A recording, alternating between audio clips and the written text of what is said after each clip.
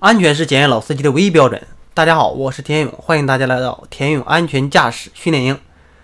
今天咱们来看一看高速上的六九线。下面这段视频呢是来自一位车主的分享，他是在十一期间上的连云港高速。好，咱们先看视频。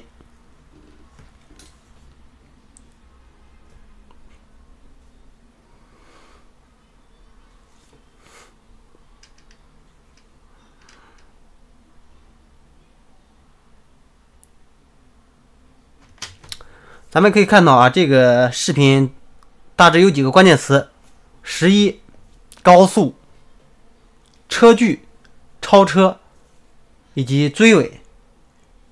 先来说十一，这十一期间咱们高速免费，那很多车就上去了。平时不上高速的可能也上去了，甚至有些新手也上去了。可以说十一期间，呃，以及一些呃放假高速上免费的这期间。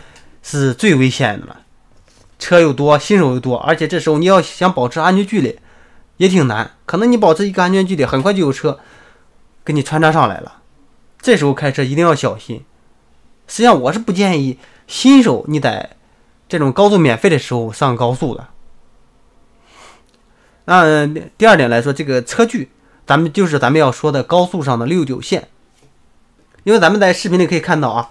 视频车和前面的面包车车距都比较近，但是近大概是有多少呢？咱们就可以看车道上不有一个虚实线吗？这个虚实线它的画长度是多少也是有标准的。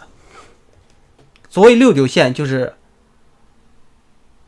白色这部分是六米，而白色和白色中间，看这个白色到前前面这个白色。是九米，也就是六九线。通过这个六九线呢，就可以看出车距大概是多少，也可以通过这个六九线可以计算出车速是多少。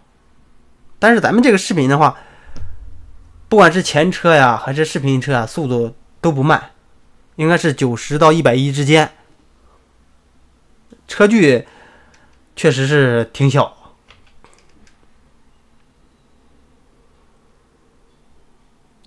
哎，在这里还要注意一下啊！视频车超过了旁边那个德邦物流车之后啊，呃，有的人说他应该是往右侧并道，好让视野更好。实际上，现在咱们看的是通过摄像头的角度，但摄像头的角度呢，跟它安装的位置又有关系。摄像头能看到右边的面包前面的车，可能在司机这个位置压根就看不着。我也是建议他超过。德邦之后，往右侧变道，甚至说右侧偏一点身子，然后看一下前面的车前面的路况。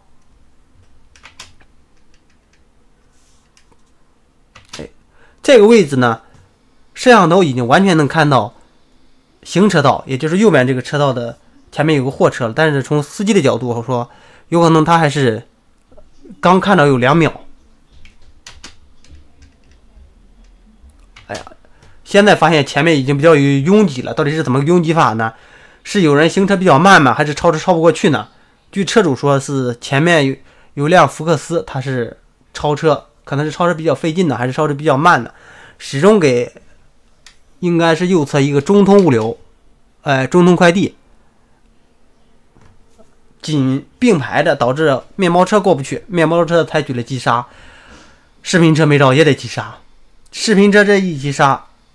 导致了最后咱们视频看到的那一刻被追尾了，这车主还挺冤呢，他是新车呀，新车就被追尾了。啊，好，咱们这期视频啊，一来说了就是十一上高速啊，第二点就是咱们说的高速上六九线，希望大家能记住六九线。以后你上高速的时候，如果你对距离没有概念，你可以通过六九线来进行判断啊，尽量保持四段六九线。四段六九线，那你的速度应该就是多少呢？大家可以计算一下。咱们如果是速度跑到一百二，你的距离应应该得是一百二以上了。那又是几段六九线呢？也欢迎大家在下面留言。好，更多关于安全视频啊、安全驾驶以及车祸分析的视频，欢迎关注田勇频道，优酷搜索田勇频道。